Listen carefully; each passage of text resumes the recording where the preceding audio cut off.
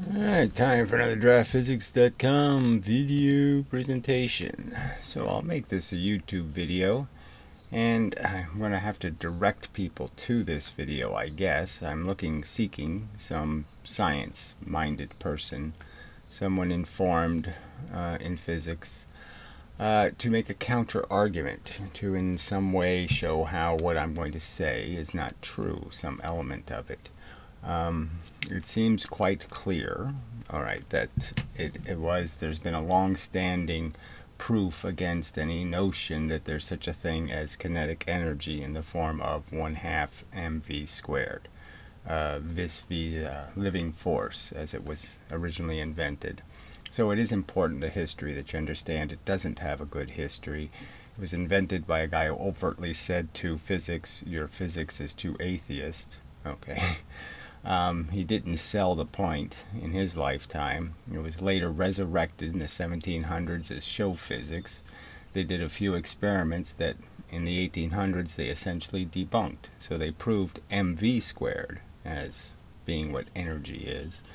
And then they changed it to 1 half mv squared when they devised a work equation that basically says work is force times distance when it's quite clear the evidence is kind of unavoidable that work is how long a force is applied.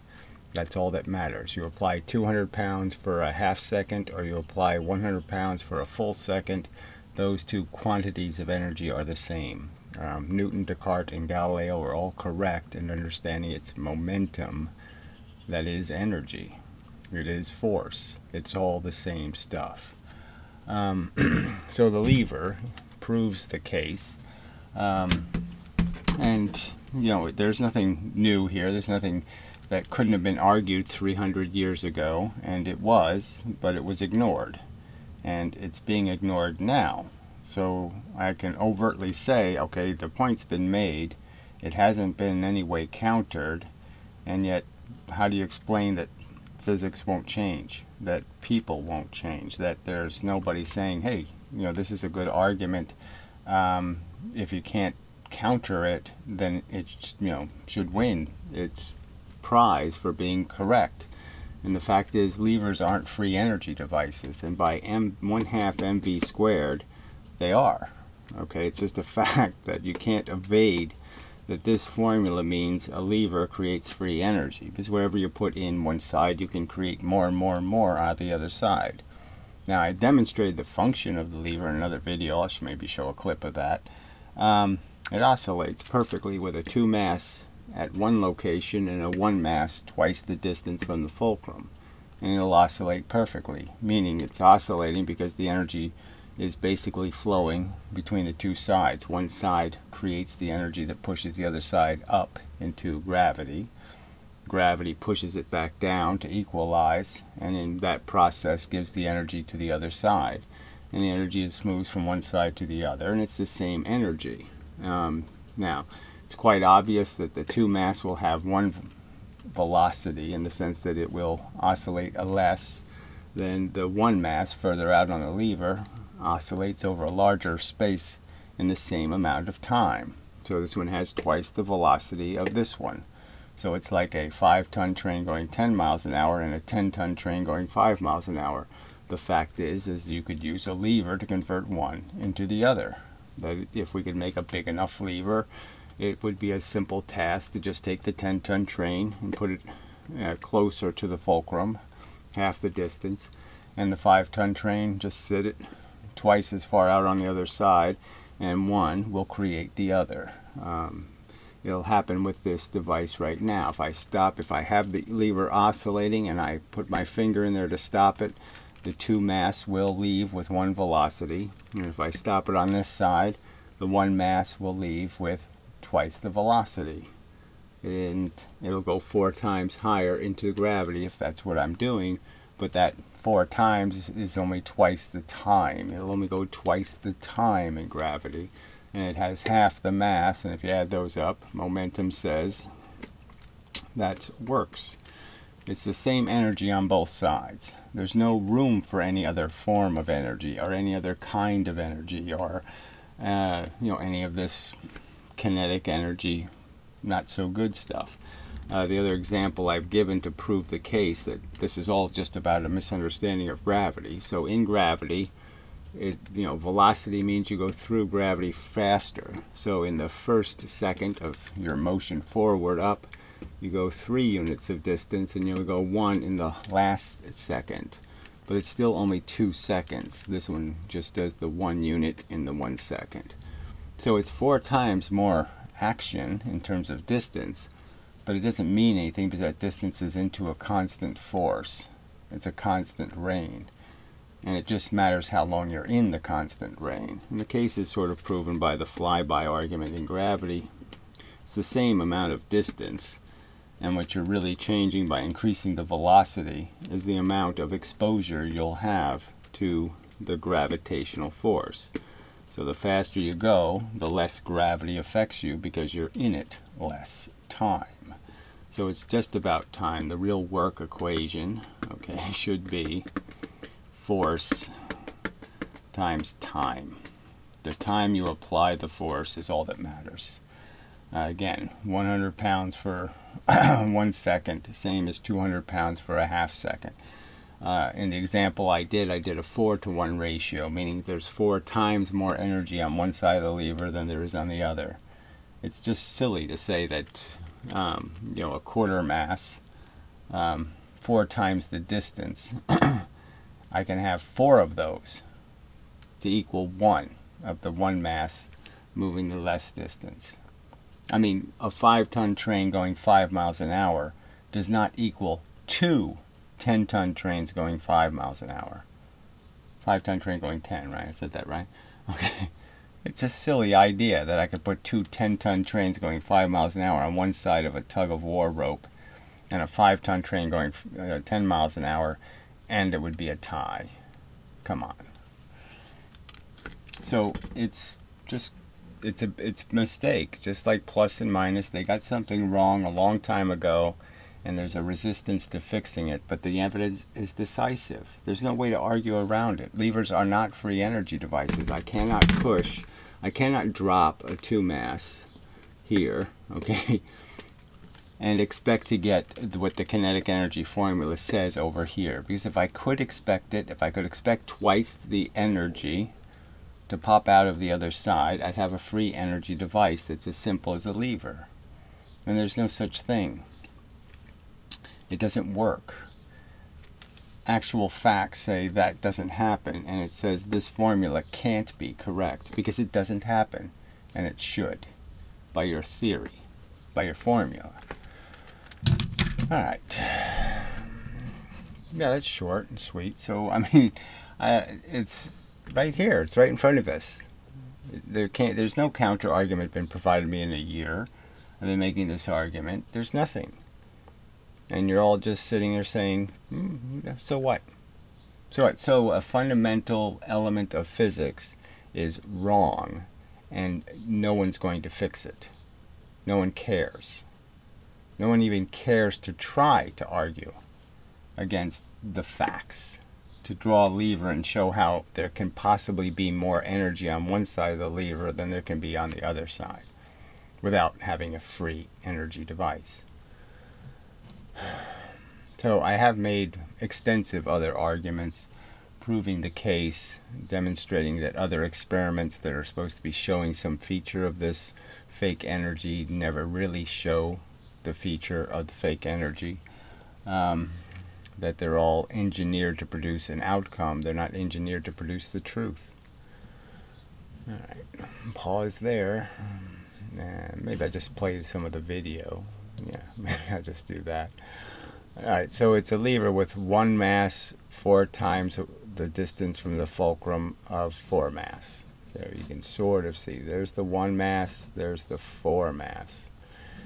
Uh, and they oscillate perfectly, demonstrating that in reality they're the same thing that if you put a one mass four times the distance, giving it four times the velocity, four times the movement in the same time, that it will in fact have the same energy. Not four times as much energy, just the same energy.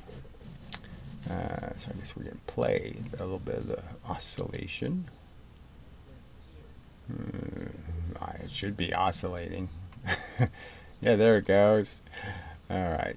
So, you know, it's four times the motion here for the one mass object, one quarter the motion for the four mass object, indicating those two quantities are exactly the same amount of energy. The same potential is created when they move against gravity.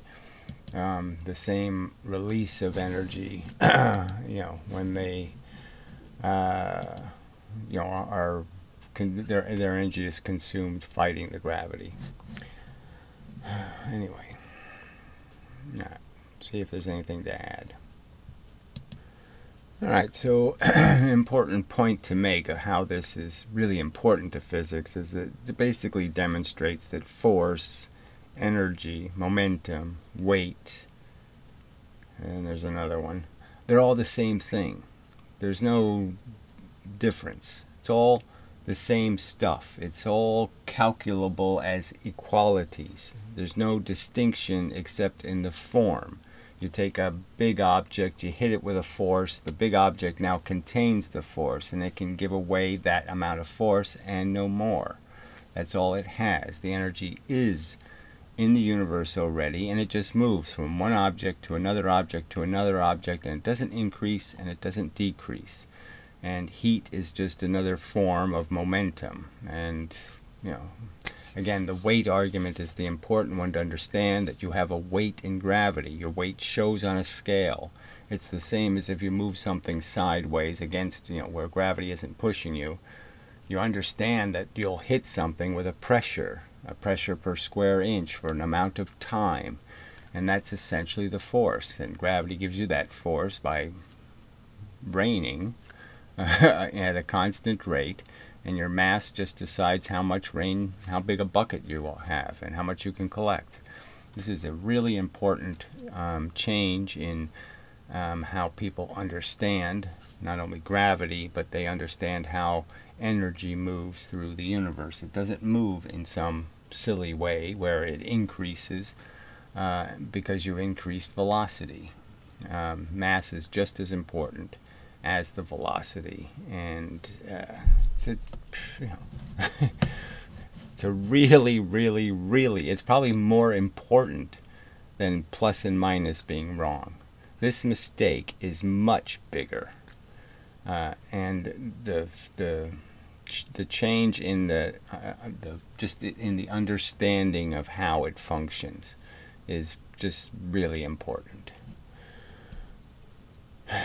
and so prove it's not a conspiracy by making a counter argument or conceding this is a really important fact and physics needs to pay attention.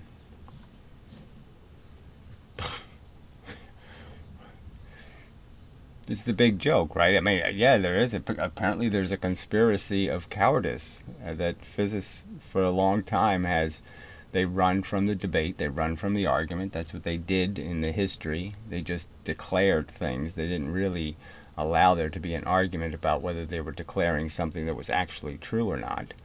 Again, when in this in the 1800s, uh, you know, they just stuck a half in front of a formula they say they proved for over a hundred years. They did a bunch of experiments that proved mv squared, and then they stuck a half in front of it without any notice, without any fanfare, without any, hey, we're going to boldly undo all that evidence. We're going to debunk our own theory, substantially debunk it. okay, and they did wasn't no New York headline, you know, you know, no, no, it, it wasn't even news, you know.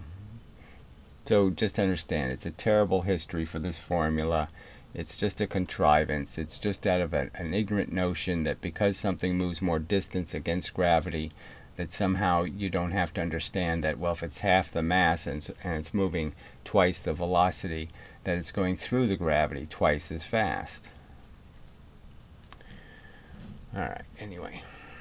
So, um, more than twice as fast, four times as fast.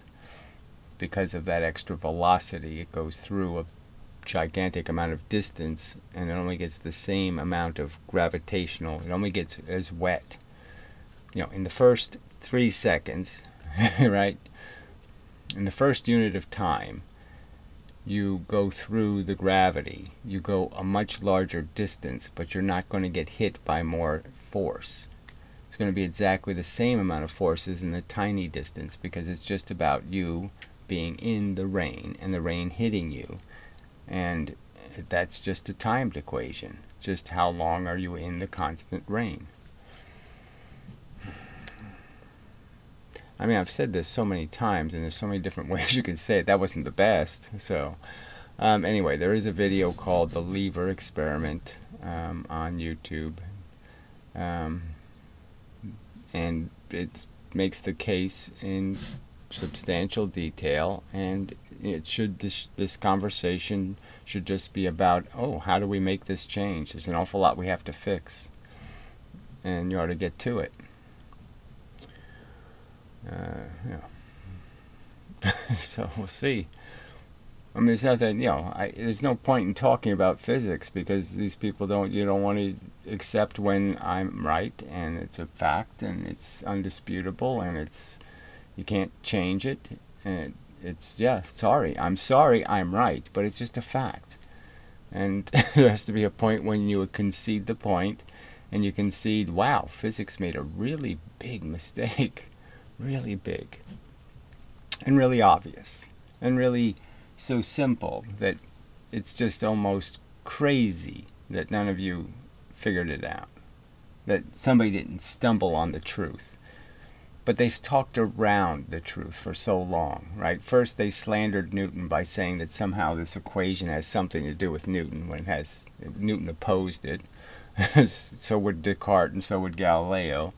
Um, this isn't their physics. This isn't how they understood the universe. Uh, so they use these little subtle lies, you know, to pretend it's all okay, and uh, you know they just they they gloss over the putting the one half in and destroying all their previous proofs. You know, all their all their evidence that they shove down mankind's throat, saying this is the truth, this is the truth, this is the truth, and then they cut it in half a gigantic concession that it wasn't the right answer. yeah,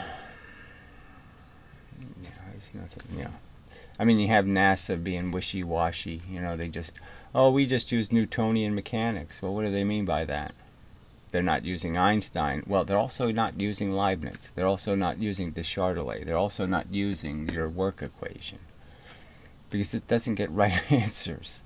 It's not going to land you on the moon. But they won't come out and say it.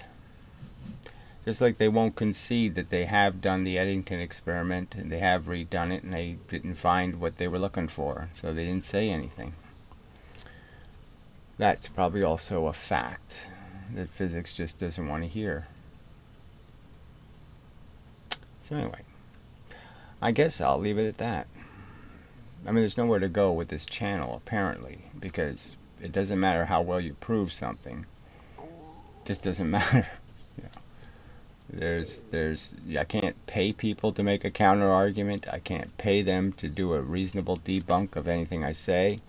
Um, it's just a closed uh, environment. Physics is not open to critique or improvement or any kind of scrutiny. It's a religion period. And they don't want to hear that God might not be in the clouds, and he might not, you know, he might the the, the clouds might not be ruby and encrusted. Uh, they just don't want to hear that fact.